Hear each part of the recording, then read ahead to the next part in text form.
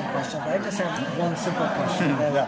For a lot of these shows we cover, they're typically smaller casts, like three to four members on it. So they get real tight as a group and a family. You got a lot of people here. How is that as a dynamic?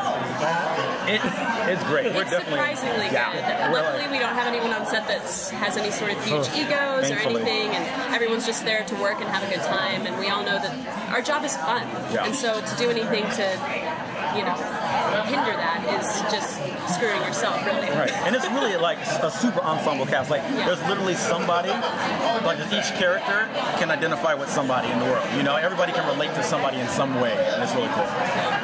Yeah, so uh, I was curious, did you always know that Sophia was going to be having this interest in Taylor, or was it as much of a surprise to you as it was to Lukas? Well, I knew Right. um, I knew after the pilot. During the pilot, I had no idea, and then Meredith and I, the creator, Meredith, uh, the creator of the show, we were having dinner at one point, actually watching Elisa's show, and she said that it was going to be a possibility, and I couldn't have been more excited. She was so excited. It was like, she was like, I don't know. yeah. Um, we had no. uh, Did you know who it was going to be with at that point? 'Cause No, she didn't say who it was going to be with.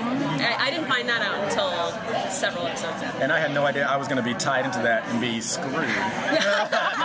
so that was a surprise. No, it was great. And then have you had any feedback from the LGBT community? Maybe someone It watching seems the like show? it's been positive, Yeah. and uh, I couldn't be happier to have, be a positive representation of the LGBT, LGBT community. Um, I am very supportive of that. I'm all about gay rights and gay marriage and all that. So anything I can do to push that forward, even just representing that kind of character, is really important to me.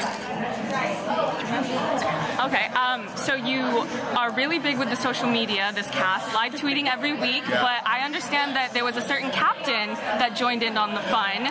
Did you want to talk about that a little bit? Because I saw you react on. Shatner. Yes. Oh my gosh, I We was could've- so honored. so like, oh my gosh, excited, he actually yeah. replies to us and everything. Like he's Yeah. he's a, a fan, a supporter, we'll call it. He's Yeah. like so great with it. Um, he's been helping the ratings and helping us.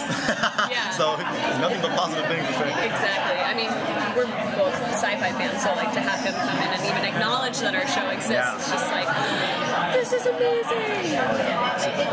And going along with the fact that it's such a big cast, are there any characters that you would like for your character to do more scenes with that maybe you haven't had the opportunity yet?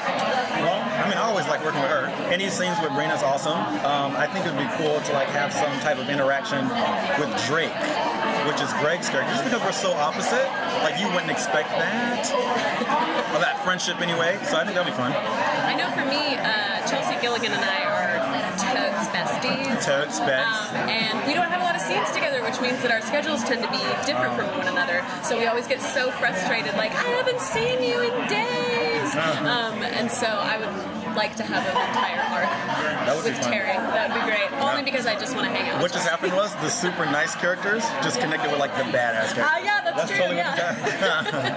That's awesome. So how is it for you live tweeting and having to be able that instant reaction from fans? Like as soon as you have a thought about the episode and they just come back full throttle with their emotions and feelings regarding what you put so much work into. Well, I think we have such Yeah. great fans that it's always been so positive. It's really fun.